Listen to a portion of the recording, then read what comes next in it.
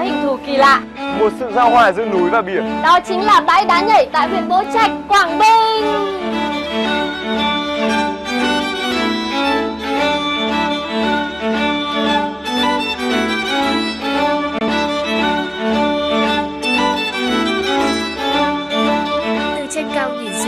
Bãi đá nhảy giống như một bức tranh thiên nhiên độc đáo với muôn vàn núi đá hình thù kỳ thú.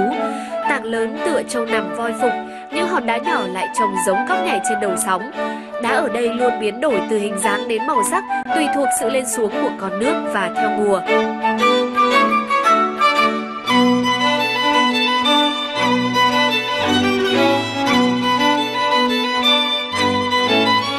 Ngắm nhìn thiên nhiên hùng vĩ và lắng nghe những con sóng vỗ rì rào vào vách đá khiến tâm hồn trở nên thư thái.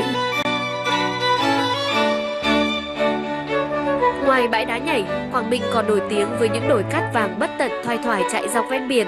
Dưới ánh nắng chiều, những triển cát mênh mông bừng lên sắc vàng rực rỡ, lung linh, huyền ảo.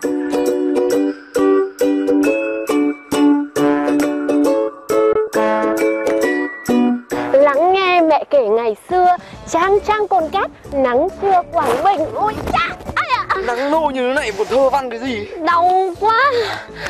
Chưa đi đến nơi mà đã kêu nắng rồi. Bây giờ đi đến nơi xem rồi trông có còn kêu ca với cả ghét nắng không nhá. Ê, đau quá. Thật là háo hức và bây giờ chúng tôi sẽ bắt đầu chơi trò trượt cát.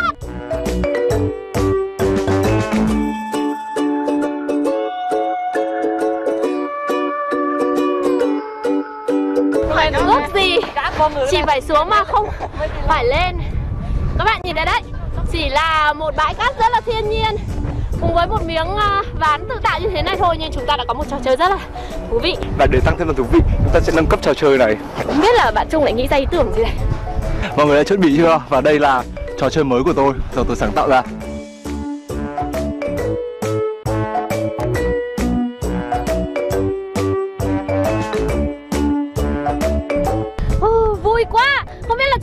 Trò này chơi hai người được không nhở Được! Ai là đội của ừ, Hương Ai Không nghĩ được kìa Trung Trung chọn một bạn nữ xem là đội hai đứa chọn đứa ờ, nào thắng bạn bạn nữ này. Bạn nữ này có đồng ý không nào? Yeah. Một, hai, ba. Lần ờ, thử đầu tiên đã thất bại và chúng tôi cần nghĩ ra một chiến thuật khác để chiến thắng thì đội hình của chúng tôi có phần ờ, thay đổi về thành viên.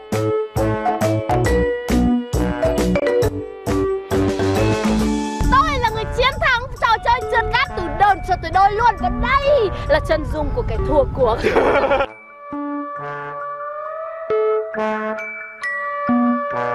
Quảng Bình khoan khoan hò khoan bao miền thương khoan khoan hò khoan đã mười năm rồi quê ta bao đổi thay